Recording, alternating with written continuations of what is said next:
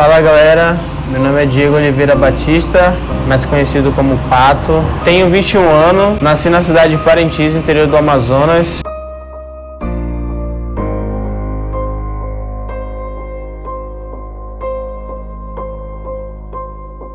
Minha infância não, não foi tão lá essas coisas não, mas a gente sempre viajava bastante, que meu, meu pai e minha mãe era, era camelô e sempre viajava de uma cidade para outra, tinha festa em tal, tal local, viajava. E eu sempre fui, sempre viajando com eles. Acabando que não tinha muitos amigos, mãe não era muito bagunceiro, não era muito de fazer muita bagunça na escola. Sempre fui quieto, sempre fui na minha, não falava muito com as pessoas, não era muito de interagir. Aí através do jiu-jitsu eu comecei, me ajudou bastante, eu acho.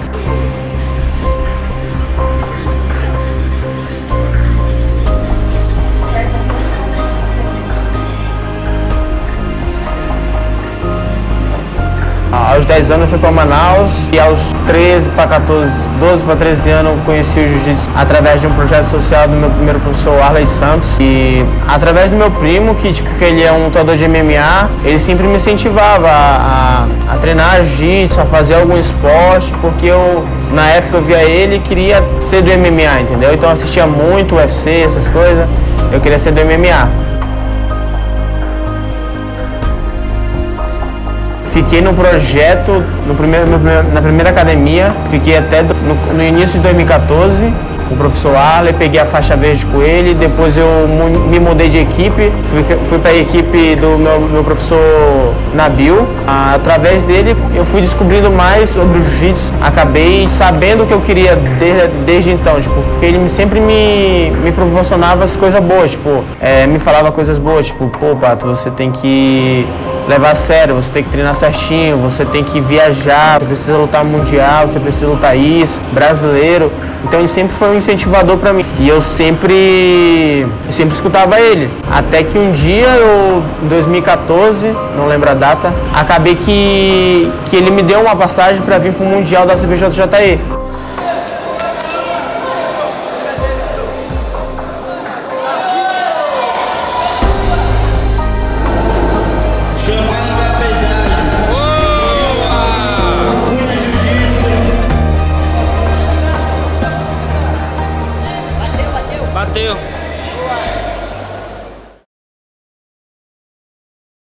Quando eu decidi viver do jiu-jitsu foi quando, na, na época na faixa azul, que sempre o meu professor Nabil, na, já, já era com o Nabil, ele sempre me incentivava a querer lutar, a querer viver do jiu-jitsu de verdade. Mas na época meu pai queria que eu estudasse, queria que eu terminasse os estudos, é, fazia faculdade, trabalhasse, essas coisas. E acabei, tipo, aptando para trabalhar. Então comecei a trabalhar numa própria obra do meu professor Nabil, com um aluno dele. E ele ficou meio que bolado comigo, assim, tipo, não queria que eu trabalhasse lá. E ele ficou, tipo, umas três semanas, tipo, falando pro cara, pro cara não me aceitar na, nessa obra, porque ele não queria que eu trabalhasse, ele queria que eu treinasse jiu-jitsu para que eu vivesse do jiu-jitsu de verdade, para que eu acreditasse naquilo, que aquilo ali daria certo.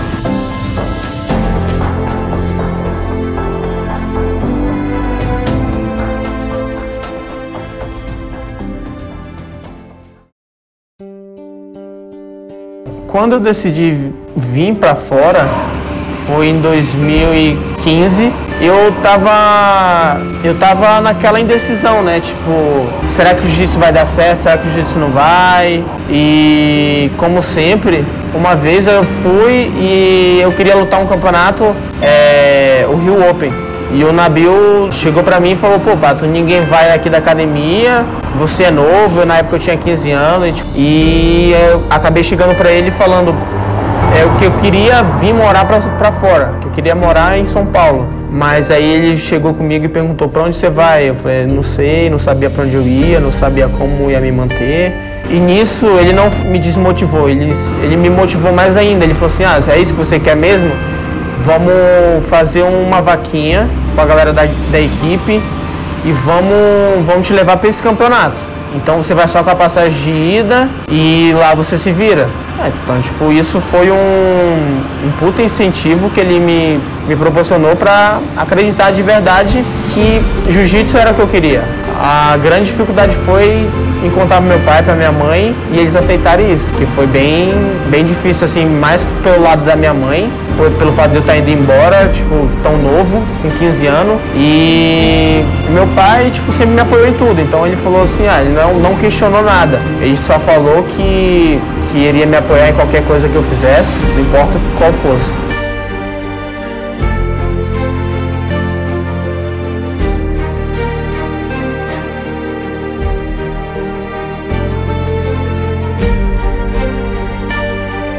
Conheci o Cícero nesse campeonato, no Rio Open, que até então eu não sabia para onde eu iria na, na época. Então eu, eu cheguei para ele no campeonato, conversei com ele, pô, Cícero, eu queria fazer parte da sua equipe, expliquei a situação para ele, que eu tinha vindo de Manaus sozinho, não tinha passagem de volta, e ele mandou eu aparecer na academia, tipo, no outro dia, falou assim, ah, você vai pra, vai pra São Paulo quando? Aí eu, eu falei pra ele, tipo, quando você me autorizar aí. Aí ele falou assim, beleza, aparece lá amanhã, que eu tô viajando hoje à noite, amanhã cedo eu tô lá. E eu viajei à noite também, quando foi de manhã cedo eu tava lá com ele. Cheguei na academia do Cícero, ele mandou ficar na, na, na, na academia, assim, morando no tatame, uma semana.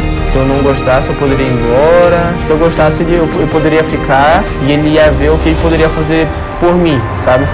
Então, tem um lugar que a gente, que a gente costuma chamar de Ratópolis, por é um lugar que marcou minha vida, assim, sabe? Então, várias coisas aconteceu ali dentro, tipo, não só eu morei lá, mas como vários outros atletas. É uma parte, tipo, que foi bem difícil da minha carreira, da minha vida, que várias vezes eu pensei em ir embora naquela hora, é, vários perrengues aconteceu, ah, mas, tipo, eu sempre botava o jiu-jitsu em primeiro lugar, né? Então, tipo, pô, eu tô aqui, eu não vim pra, pra voltar pra casa, não tenho por que eu voltar pra Manaus. Se eu sair de lá com o intuito de viver do jiu-jitsu, de, de lutar vários campeonatos importantes, aqui seria o lugar. Então, cara, o tanta diversidade que aconteceu, tantos perrengues, tanta correria que eu fiz ali dentro da, da academia, eu acho que fez o que eu, que eu sou hoje, entendeu?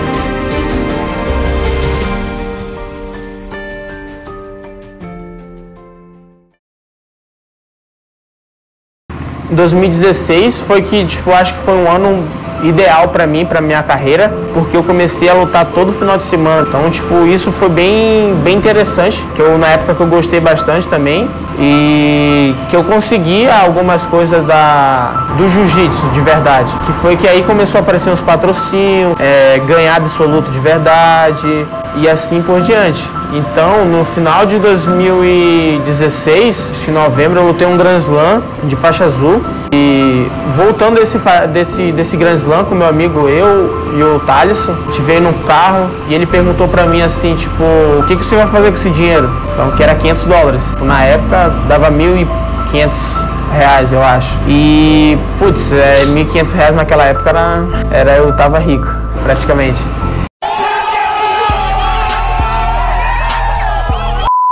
Então eu falei, cara, não sei, eu vou guardar, vou ver o que, que eu posso fazer e vou investir em competição. E ele falou assim, putz, tem uma. Tem uma seletiva do, do Abu Dhabi na Colômbia. Tipo, eu fiquei meio com receio, sabe? Porque eu. Duas coisas. Eu, eu tava com medo de gastar o dinheiro e, e não ter nada, tipo, pra não ter dinheiro para me manter durante o fim do ano e de ir para uma competição que eu não sabia se iria ganhar ou não, que era não era a categoria que valia a passagem, sim o absoluto. Então eu fiquei meio com receio disso. E ele falou assim: "Não, vai, vai ser bom para você, você". Ele acreditou mais em mim do que eu mesmo, entendeu? Então eu tava mais com receio de, de, de perder dinheiro do que, sabe, de, de ganhar o, o campeonato. Então eu fui lá, dei, tipo, a passagem foi, foi com o meu dinheiro todo. Passagem, inscrição foi meu dinheiro todo. Então, os 500 dólares que eu tinha ganhado, eu tinha ido embora em dois dias. E acabei que, tipo, eu fiquei nisso. Eu falei, putz, eu, se eu gastei esse dinheiro todo, eu tenho que fazer valer a pena, né?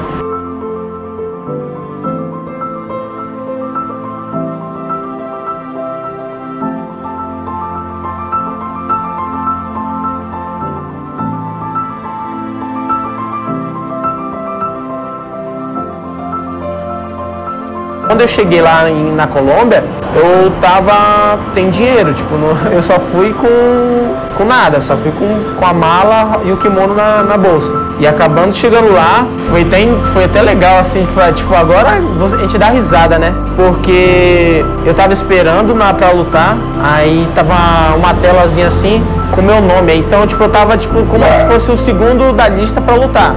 E eu olhei meu adversário, meu adversário tinha entrado para lutar. Eu falei assim, pô, meu nome tá lá, meu amigo já, o, o adversário que eu vou lutar já tá lá. Eu vou, eu vou para lá. Quando chegando lá, o, o juiz dá a vitória pro meu adversário e eu fico sem entender nada, tipo assim, como assim? Tipo, eu nem lutei, eu tô aqui e o, como que você dá a vitória pro meu adversário? Aí o cara falou assim, ah, você não, não, não, não ouviu a gente chamar e você perdeu, você não vai mais lutar. E eu fiquei meio assustado, assim, tipo, sem poder falar nada, né? Que, tipo, era espanhol, eu não, eu não sabia falar espanhol na época. E eu fiquei, mano, tipo, eu vim de tão longe pra, pra nem lutar, na verdade, né? Acabei que, tipo, eu e meus amigos fizemos, tipo, uma, uma briga lá com os caras, puxamos uma briga, aí depois de muita briga consegui voltar a lutar com o cara e acabei ganhando peso absoluto.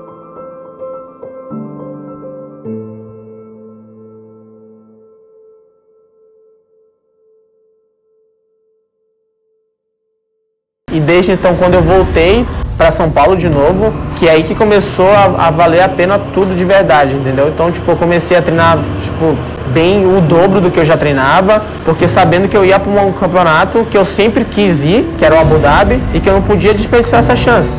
Então, foi o primeiro internacional que eu ganhei grande, na faixa azul e valia dinheiro, então me ajudou bastante. Na época que eu voltei de lá, consegui pagar minha passagem para o Mundial e consegui pagar meu visto americano pro, pro Mundial. Então acabei pagando tudo do meu próprio bolso. Então foi tão gratificante para mim quanto a galera que, que viu minha correria assim.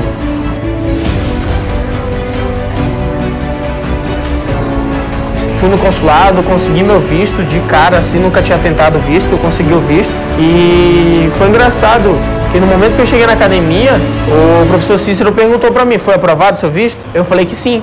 E ele e ele automaticamente tipo olhou para mim assim e falou: "Você vai de roxa no mundial".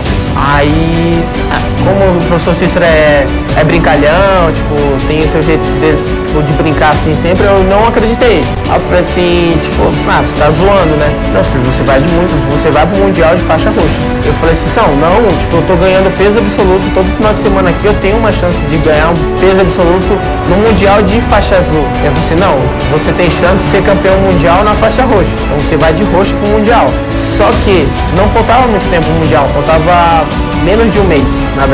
Então faltava três semanas pro Mundial. E eu falei assim, como que eu vou pro Mundial se eu, eu nunca lutei um Mundial, é meu primeiro, a minha primeira vez, e eu vou numa faixa que é, tipo, é bem difícil a categoria, tipo, e eu fiquei, tipo, meio que brigado com o Cícero por causa disso. Até que eu aceitei a, a faixa roxa e, tipo, meio que foi a, a, força a faixa roxa. E eu fiquei sem entender nada. Então eu falei, cara, ah, vou lá só lutar, né? Tipo, tava com isso na minha cabeça. Assim, ó, sou eu vou lá pra, pra mostrar meu jiu-jitsu, eu quero fazer umas boas lutas. Eu não, eu não tava com a intenção de ganhar. Então acabou que, tipo, chegando na, no, no, no dia do campeonato, era. Eu tinha que fazer sete lutas para ser campeão. E eu falei, tipo, ah, vou lutar uma luta de cada vez. Então acabou que eu fui lutando uma, duas, três. Eu vi, já tava nas quartas. Ganhei as quartas, fui pra semi.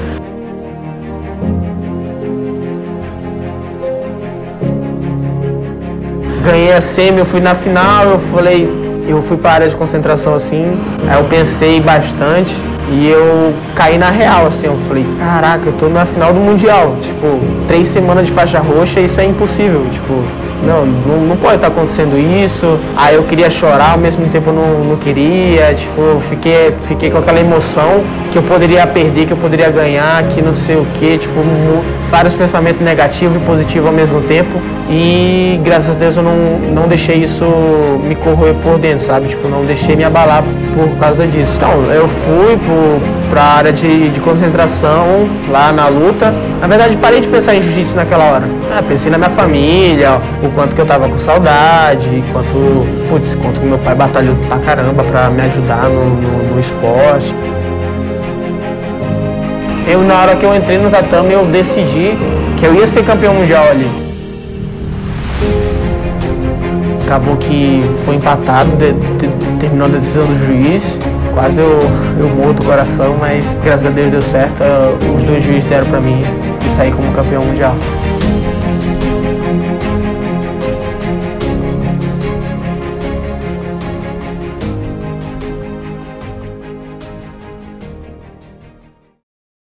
No final do, do ano de 2018, eu fui graduado da faixa marrom.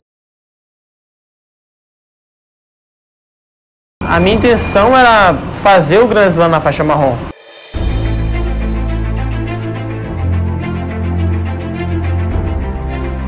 Cara, foi. aconteceu tão rápido que eu não, não tava acreditando, sabe? Tipo, ganhei o europeu,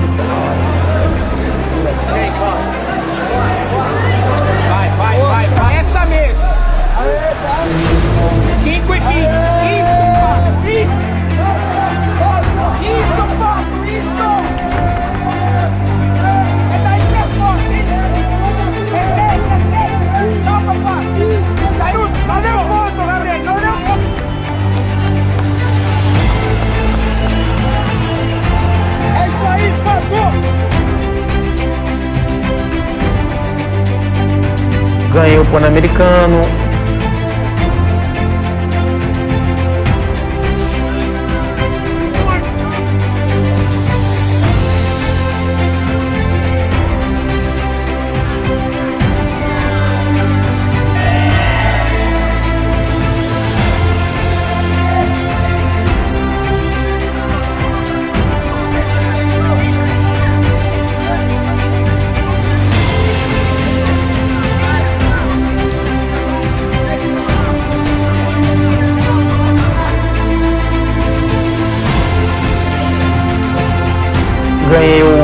Pro em Abu Dhabi, ganhei o brasileiro. E quando chegou no Mundial, eu fiquei com um pouco de pressão, assim, sabe? Tipo, é, é mais um campeonato, se eu ganhar, eu vou ser. eu vou fazer o Grand Slam. E ao mesmo tempo com receio, sabe? Tipo, de putz, se eu perder, eu fiquei com bastante receio assim desses dois lados. Acabou que eu fiz cinco lutas, finalizei quatro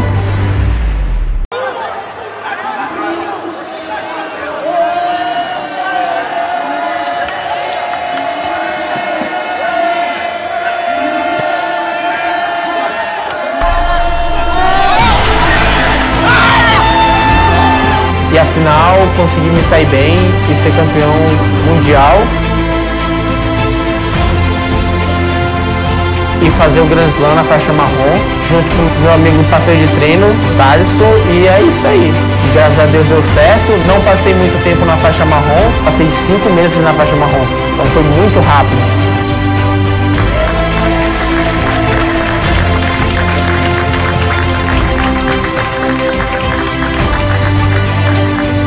Não me imaginava pegar faixa preta com 20 anos de idade, assim. Então eu fiquei meio sem acreditar. falei, cara, sou muito novo para isso, tá ligado?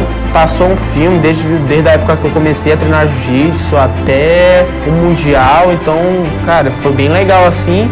E eu desacreditei, sabe? E sendo que uma semana, tipo, no outro final de semana depois do Mundial, teria o Grande Slam da JP lá em, lá em Moscou, na Rússia, e eu já ia lutar de faixa preta.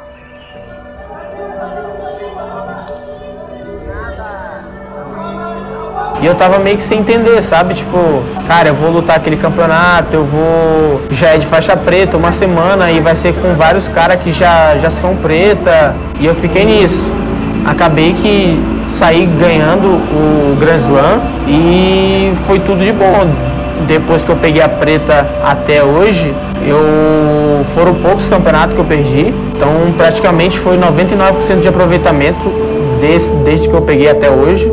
E eu tenho muito a fazer ainda na faixa preta. Então, meu, meu objetivo na faixa preta é, é fazer, tipo, ganhar pelo menos, tipo, um mundial na faixa preta, certo? Que é um sonho de todo mundo, eu acho, assim. Não tenho certeza. Ganhar um, um ADCC, montar uma academia para mim.